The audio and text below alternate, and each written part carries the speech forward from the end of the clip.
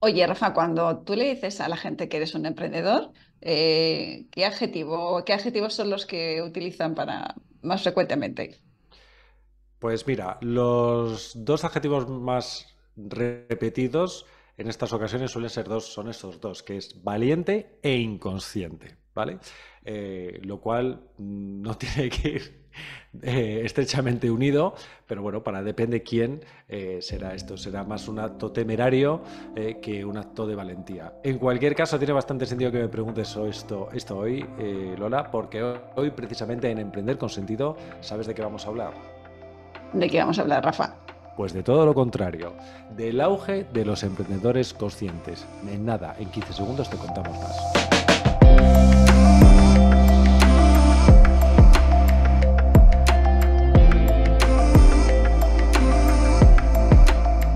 Hola, ¿qué tal? ¿Cómo estáis? Bienvenidos a un episodio más, episodio 201 de Emprender con Sentido. Este episodio que abre una nueva etapa en esta cuarta temporada, pero en esta nueva fase después del episodio 200 donde te comentábamos que Emprender con Sentido adquiere todo el protagonismo de este podcast para dejar de ser una sección y para tomar el protagonismo que le corresponde, es decir, este es el podcast de Emprender con Sentido. Así que lo primero que quiero hacer es dar la bienvenida a mi compañera Lola. Lola, ¿qué tal? ¿Cómo estás? Hola Rafa, hola a todos nuestros oyentes. Pues muy bien, como siempre encantada de estar aquí. Bueno, me imagino que también muy contenta e ilusionada por iniciar, como decíamos, esta nueva etapa en el capítulo 201, en este episodio que, como decíamos, pues cambia un poco también ¿eh? o, dirige nuestro barco eh, en una, como en una nueva trayectoria a la que estamos muy ilusionados, ¿verdad? Exactamente, eh, pues con un enfoque más abierto hacia el emprendimiento con propósito ¿no? y, muy alineado con el emprendimiento consciente, que es lo que el tema de hoy. Efectivamente, pues el episodio de hoy no podía tener mejor tema eh, que este, que es el auge de los emprendedores conscientes. Eh, algo que, bueno, que os vamos a demostrar por qué, de qué manera y qué define a un emprendedor consciente, porque lo que queremos sobre todo en este episodio es, fíjate, tenemos una misión es que si te consideras un emprendedor consciente, es que te animes y te motives y que veas que realmente hay, como te decimos en este título, un, movimiento real ¿eh? de empuje sobre este, sobre este tipo de emprendedor o emprendedora. Y de la misma manera queremos que si eh, hay algo que te resuena, pero realmente no te has identificado como un emprendedor o una emprendedora consciente, quizá en el episodio de hoy descubras esos rasgos, esa forma de entender el emprendimiento en el que te sientas plenamente reconocido reconocido y quieras formar parte de esta tribu también. Y para formar parte de esta tribu de los emprendedores conscientes, nosotros tenemos algo muy bueno para ti que se llama la comunidad de emprendedores con sentido. Es una comunidad donde precisamente los emprendedores y emprendedoras con propósito que quieren hacer de su propósito una forma de vida plena encuentran no solamente el espacio, sino también las herramientas y las personas para hacer este camino de una forma mucho más plena. Y ahora sí, Lola, vamos a darle pleno sentido a este podcast hablando de este tema que tenemos entre manos, el emprendimiento consciente. Estábamos diciendo que hay un auge y que de hecho nuestro episodio hoy se llama el auge de los emprendedores conscientes, eh, pero creo, Lola, que tú has traído también unos datos que van a confirmar ¿eh? este crecimiento de los emprendedores conscientes. Pero antes de nada, yo creo que lo que sería importante sería definir qué es un emprendedor consciente una emprendedora consciente. Eh, bueno, desde nuestro punto de vista, ¿eh? es una visión compartida tanto de Lola como, mía, un emprendedor o emprendedora consciente se define por dos rasgos fundamentales, en mi opinión, o que lo resumen. ¿eh? qué es lo que busca, qué es lo que hace, qué es lo que motiva su emprendimiento. Primero, eh, que su desarrollo de actividad tenga un impacto claro y directo sobre a las personas a las que se dirige, sobre sus clientes. Y por otra parte, también quiere que evidentemente ese desarrollo, esa actividad, tenga un impacto pleno y positivo en todas las áreas de su vida. Eh, si nos escuchas, si eres miembro de la comunidad, verás que todo esto te suena muy familiar. Si no nos has escuchado antes y es la primera vez que nos escuchas, yo creo que aquí tienes un buen eh, aliciente para seguir escuchando y descubrir, como te decíamos, el porqué de este movimiento. Lola, y eso es lo que te quería preguntar a ti. Yo creo que tenías, como decía hace un minuto, algunos datos que corroboran o que nos dan pistas más que nada de, de este crecimiento, de este auge de los emprendedores conscientes. Cuéntanos alguno. Pues sí, eh, es un, es un eh, movimiento ¿no? que, que, está en auge a nivel global, pero, pero también y no sin excepción aquí, aquí en España. Entonces, tengo aquí algunos datos pues, eh, relevantes. ¿no? Por ejemplo, pues, según el informe del estudio de impacto social y sostenibilidad en España, realizado por Deloitte en el 2023, el 70% de los consumidores españoles considera importante que las empresas tengan un impacto social positivo. ¿no? Es lo que eh, quería puntualizar, ¿no? que el emprendedor consciente no solo busca el impacto en su cliente final, sino un impacto más global, ¿no? un bien, vamos a decir, por, por la comunidad. ¿no? Eh, quizás sea, quizás sea lo, lo que más eh, define la palabra conciencia, ¿no? algo más, más global también. ¿no? Eh, el Global Entrepreneurship Monitor eh, ¿vale? del 2022 reveló que el 55% de los emprendedores españoles considera la sostenibilidad y la responsabilidad social como elementos claves en, sus negocios, ¿no? Así que eh, nos importa mucho, pues, como hablamos, eso, pues, la sostenibilidad del planeta, ¿no? Y también ese beneficio global. Y por último, pues tengo también pues, un estudio de Ipsos Mori del 2023 también que encontró que el 68% de los empleados en España pues, prefieren trabajar para empresas con, con un fuerte compromiso en la sostenibilidad y en la ética. Así que sí, eh, como ves, eh, no solo eh, es en el emprendimiento, sino también es lo que, en, la, o en, las empresas, sino también es lo que demanda la sociedad, ¿no? los trabajadores, ¿no? los consumidores, lo que están demandando. Sí, sí, sí, está claro. Eh, mira, yo un análisis que quería hacer sobre estos datos, Lola, que están como, bueno, vamos a decirlo así, parecen datos macro, muy, muy llevados a lo que es precisamente lo que es el gran, eh, la gran corporación, el mundo corporativo, eh, pero también revela mucho sobre la sociedad. Y cuando esto lo trasladamos a lo que es sobre todo la gente a la que nosotros nos dirigimos, que es el emprendedor, especialmente el emprendedor, la emprendedora que lo hace en solitario, con proyectos muy humildes en su inicio, ¿no? Eh, mm, puede alguien puede pensar, bueno, pero ¿qué tiene estos grandes datos que ver con lo que es un emprendedor consciente? Pues absolutamente todo. Esto en realidad es algo que eh, lo que revelan estos datos, que por cierto a mí me ha sorprendido en algunos casos, por los porcentajes, por lo que es el, los datos. ¿eh? Estamos hablando, por ejemplo, de cosas que has dicho, como un 70% de los consumidores considera importante que las empresas tengan un impacto social positivo. Lo cual es muchísimo, o sea, es un porcentaje altísimo, que yo este dato, por ejemplo, lo desconocía. Bueno, o que el 55% de los emprendedores eh, considera que la sostenibilidad y la responsabilidad social son clave en su negocio. Bueno, si esto evidentemente lo que nos da es un cambio claramente de conciencia, de conciencia social, que eso evidentemente se empapa a todos los ámbitos de la sociedad y evidentemente al perfil de emprendedor, como decía, al que nos dirigimos, a ese emprendedor, emprendedora, pequeño emprendedor que hace su proyecto en solitario. Y fíjate que yo creo que muchas veces ocurre, fíjate, que salen del mundo corporativo, que es el gran, la mayor parte de los emprendedores que dentro de lo que son eh, bueno, los emprendedores vocacionales del desarrollo personal, bienestar, salud y otras áreas, en muchos casos ocurre esto, no, empezaron siendo emprendedores, sino que hacen un cambio.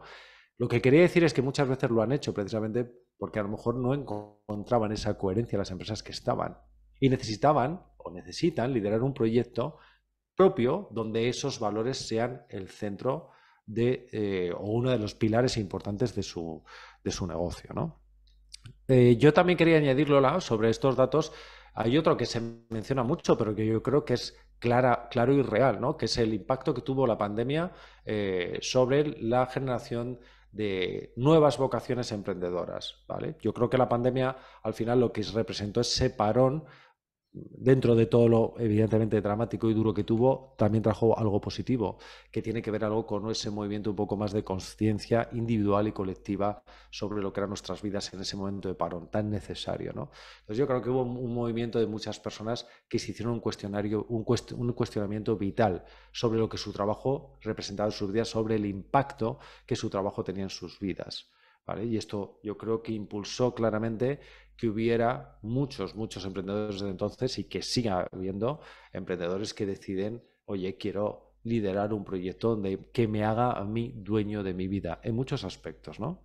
Porque como hemos dicho al principio, cuando definíamos que era un emprendedor consciente, lo definíamos en dos áreas o en dos direcciones, ¿no? Lo que yo hago como sociedad y qué es lo que hace cómo es, qué es lo que hace mi trabajo, cómo impacta a mí, ¿no?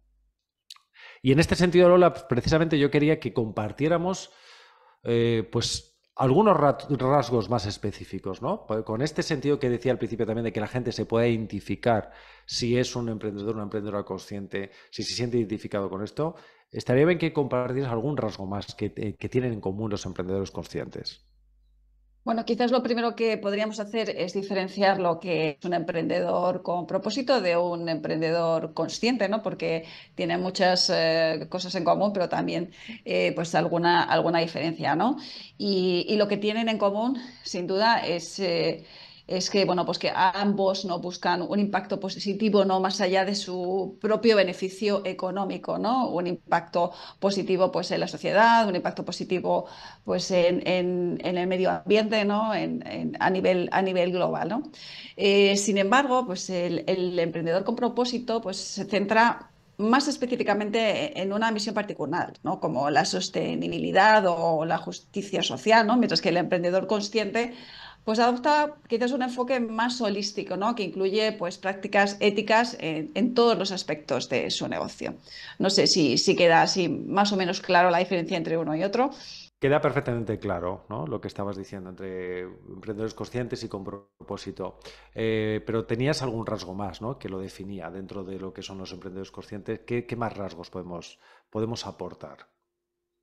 Pues, eh, pues en rasgos comunes tienen ese compromiso con, los valores éticos, la, transparencia ¿no? en, sus, sus operaciones, eh, un enfoque pues, en el impacto social y ambiental, como, como he dicho, ¿no? y, la creación de una cultura bueno, pues, eh, emprendedora ¿no? o empresarial, ¿no? si, si es el caso, pues positiva.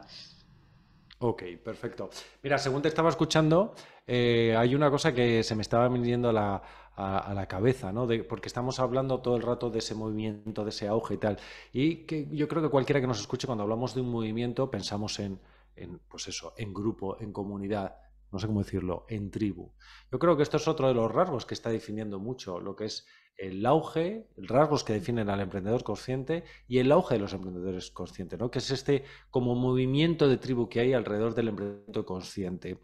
Eh, los que estamos dentro de lo que es precisamente el emprendimiento consciente, lo que estamos impulsando proyectos de emprendimiento consciente, estamos, como quien dice, con, con todos los sentidos eh, muy alertas sobre cualquier cosa que surge sobre esto, muy metidos en este mundo, eh, lo sabemos, Lola. Es decir, hay muchísimas iniciativas que tienen que ver con ese sentido de unirse, de unión, de montar eventos, aunque sean de una forma más efímera, efímera, perdón, o de forma más constante, eh, comunidades que con diferentes nombres, lo que digo, eventos, grandes eventos, donde se busca precisamente esa unión, ese lugar donde encuentro de personas eh, que quieren identificarse con una serie de valores en común. Yo creo que esto lo hemos comentado, lo hemos visto y seguramente, bueno, pues tú también eres perfectamente testigo de este tema.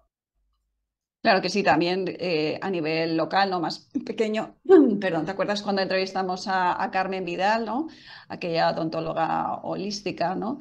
Y, bueno, pues ella fue aquí en, Palma de Mallorca, fundadora de un grupo de BNI que se llama BNI Consciente, al que tú y yo pudimos acudir y que, bueno, pues es, como vimos, eh, pues era un grupo de, profesionales de distintos ámbitos, pues eh, con, esta visión holística, ¿no? del emprendimiento y que, que se junta, pues, para crear esa, sinergia ¿no? de, en, su networking.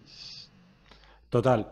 Eh, está muy bien que fíjate que hayas eh, sacado a colación precisamente esto que has dicho tú, de esas iniciativas locales. Yo creo que precisamente es lo que se es lo que determina, es uno de, no sé cómo decirlo, de los síntomas de que esto es un movimiento eh, global. ¿A qué me refiero con esto? En realidad ya es fácil encontrar prácticamente en cualquier región, vamos a hablar, o zona, da igual, si nos escuchas de España o desde Latinoamérica, seguro que piensas en tu ciudad, o eh, si vives en una pequeña ciudad, pero estás cerca de una ciudad grande, seguro que si te pones a buscar encontrarás varios grupos eh, con diferentes, eh, no sé cómo decirlo, caracteres empresariales, institucional, que veas, que verás que promueven mucho este tipo de valores que hemos definido aquí de los emprendedores conscientes. Eh, yo creo que esto es una muy buena noticia, ¿no? que en realidad no hace más que constatar los datos que tú nos has dado al principio, Lola. Es decir, que esto es una realidad, que sobre todo lo que yo creo que decir, bueno, ¿y cómo repercute esto? Eh, yo creo que repercute evidentemente de forma muy positiva, tanto en la forma de entender el emprendimiento para quien lo desarrolla para sí mismo, como evidentemente decir, cuando se plantean unas premisas que tienen que ver con valores eh, sobre lo que yo hago para los demás, mm, sin lugar a dudas, el impacto no puede ser nada más que positivo. Lo, me parece fantástico. Eh, y, también, sí, perdona, Lola me perdona, sí, lo que te quería decir, Rafa, es que antes que hablábamos de, la pandemia también, ¿no? O sea, cuando hubo ese éxodo ¿no? de, la ciudad hacia los, eh, eh, pueblecitos, aldeas, lugares pequeños, ¿no? De gente que, quería ¿no? cambiar su, forma de vida o que se había dado cuenta que no quería seguir en esa, en esa dinámica, ¿no? Se crearon también muchas, muchas comunidades, ¿no? De gente que se encontró allí por casualidad, ¿no? Muchas comunidades de, para vivir pues, y trabajar de, eh, a nivel, pues eso, eh, unifamiliar o familiar, ¿no? Y, también, pues eso, de, en, plan de working, eh, de espontáneamente. Así que, bueno, fue, es algo que ha surgido como muy, como muy orgánicamente, ¿no? Como a mí me gusta decir, ¿no? de las necesidades, ¿no? Quizás de, este, de esta sociedad o esta forma de, trabajar a la que estábamos acostumbrados en los últimos años.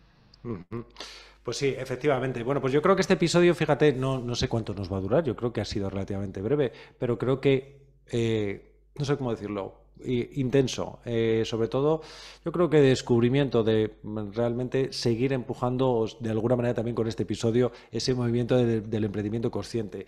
Como te decía al principio, para nosotros era importante que este episodio llegara para ti como un punto de reflexión o de acción. Es decir, eh, si, te, si, te has, si te consideras ya, si te defines como un emprendedor o un emprendedor consciente, que te reafirmaras, ¿vale? Porque a veces parece que existe también bajo este perfil cierto miedo a parecer como un poco raro, ¿no? En el mundo del emprendimiento, donde parece que solamente eh, tiene sentido valores como dinero, dinero y dinero. Lo podemos repetir muchas veces, pero sería un único valor y darte cuenta y reconocer que no, que no estás solo o sola y que realmente hay un movimiento que es casi social ya, que quiere, que pide emprendedores y emprendedoras como tú. Y si eres una persona, como te decía antes también, que no tienes claro si esto eras, te, te hallabas o, si estás pensando en tomar una iniciativa emprendedora, eh, pero hay algo de ti que te pedía hacer algo que tuviera un propósito, un sentido, que fuera este, con ese sentido consciente, pues mira, esperamos que este episodio haya servido para darte cuenta que esto, aparte de una bonita idea, es una realidad social y económica, ¿vale? Que tiene una alta demanda en el mercado de personas que quieren consumir, contratar, hacer uso de profesionales, de iniciativas de negocio emprendedoras que tengan claramente el sello de emprendimiento consciente. Así que espero que de verdad te animes a ello y mira, una de las formas mejores para unirte y dar el primer paso puede ser precisamente formar parte de este movimiento a través de una comunidad, como puede ser la nuestra Emprendedores con Sentido. Yo creo que es una muy buena forma de sentirte acogido, de ver cómo otras personas eh, hacen también eh, por trabajar en ese movimiento. Y luego también te lo digo de una forma muy transparente. Y cómo dejar de idealizar solamente eh, tus proyectos y saber llevarlos a tierra y convertirlos en una propuesta sólida y estratégica para llevar adelante. La comunidad de emprendedores con sentido te puede ayudar mucho en este sentido. Cómo lo puede hacer también si estás interesado o interesado conocer cuáles son nuestros formatos de mentoría para precisamente emprendedores y emprendedoras con sentido. Te vamos a dejar descripción de todos los enlaces que te pueden resultar de interés en la descripción de nuestro episodio. Y nada más, nos queremos despedir de ti, pero antes de despedirnos queremos hacerte un anuncio de algo que nos llena de ilusión para el próximo episodio y que le voy a dejar a Lola que te lo cuente. Lola, cuéntanos, ¿cuál es esa sorpresa para el próximo episodio? Sí, pero antes de la sorpresa, Rafa, no se nos puede olvidar invitar a, nuestros oyentes, ¿vale? A nuestro primer encuentro virtual del próximo 18 de junio a las 7. Así que si todavía no te has unido a nuestra comunidad, pues todavía estás a tiempo. Recuerda que este primer encuentro es totalmente gratuito. Lo único que tienes que hacer es inscribirte en nuestra comunidad de emprendedores con sentido en el enlace que estará en la descripción y te esperamos pues, pues, pues, con mucha ilusión porque es el primer encuentro que vamos a hacer. Y ahora sí, Perdona, ¿querías decir algo? No, no, nada, que decía que simplemente es verdad que, era importante decirlo esto, que es una muy buena forma también de entrar en la comunidad ahora mismo que se va a hacer ese primer encuentro virtual, donde nos vas a poner cara eh, a los que somos miembros y participen en este evento, y que seguramente te va a motivar y te va a impulsar mucho. Así que fenomenal, Lola. Te dejo ahora que nos cuentes la sorpresa del próximo episodio. Ahora sí. Bueno, pues me llena la boca no decir que, que, la semana que viene vamos a tener un invitado muy especial. Eh, pues eh, vamos a entrevistar a, Josepe García, ¿no? A Josepe, ¿no? Como le conocemos, lo conocemos mucho, ¿no? Eh, que es uno de los pioneros del coaching en España, que, bueno, pues ha, trabajado, pues no sé, ha hecho más de 4.000 sesiones, eh, tiene más de 4.000 sesiones en sus espaldas, ¿no? Es instructor de comunicación de alto impacto y, bueno, y de oratoria cuántica y además pues es un conferenciante pues, internacional de charlas TED ¿no? en más de 12 países. Y ya, pues para acabar, decir que ha entrenado a más de 80.000 empresarios, que se dice pronto, emprendedores, profesionales, en cuatro continentes. Así que, bueno, pues tenemos una auténtica estrella cuántica, diría yo, ¿no? en, nuestro programa. Pues, pues yo creo que solamente con los datos que os ha dado Lola eh, merece mucho la pena escuchar esta entrevista con Josepe, que nos hace tanta ilusión y que estamos tan, tan agradecidos de que haya mostrado mm, una disponibilidad tan inmediata a, participar en Emprender con Sentido. Le encantó además la idea de, un poco del, concepto precisamente este de, emprendedores conscientes que tenía nuestro podcast. Así que nosotros estamos deseando entrevistarle y estamos deseando sobre todo que estés ahí escuchándolo porque, mira, alguien como Josepe le da mucho, pero mucho sentido, no solamente a este podcast, no solamente al trabajo que Lola y yo hacemos en este podcast y también a nuestras mentorías, sino que le da, pero mucho, mucho sentido a tu propósito. Así que aquí te queremos ver en el próximo episodio de Emprender con Sentido. Te mando un fuerte abrazo, nos despedimos Lula y yo, hasta el próximo episodio. Chao.